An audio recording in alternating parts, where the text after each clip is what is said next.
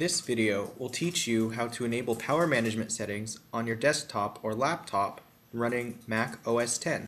First, click on the System Preferences icon located on your dock. Then, under the Hardware tab, click on the Energy Saver icon. The Office for Sustainability suggests putting the computer to sleep after 20 minutes and putting the display to sleep after 5 minutes.